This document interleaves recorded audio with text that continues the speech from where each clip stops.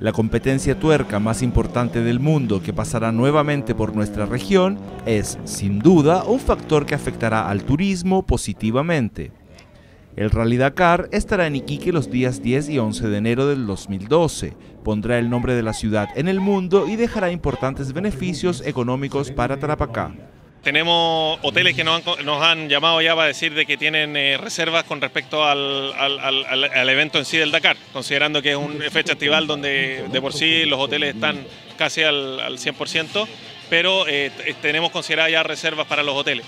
Aunque el verano siempre pone en el tope la ocupación hotelera de la ciudad, este evento deportivo representa un incremento del 15% en su posicionamiento como destino turístico pero impactó no solo en el verano, impactó a lo largo de todo el año.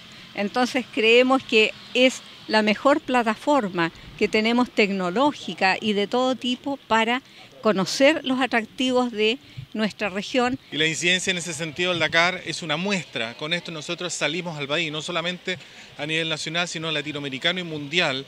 Eh, Iquique eh, eh, queda en la retina de todo el mundo. Se muestran sus paisajes, se muestra su gente.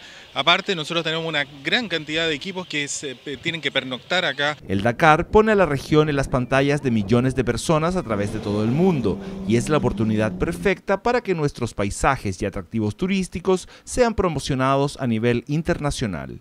Más de 51 medios de comunicación de diversos países van a estar presentes acá con más de 100 nacionalidades.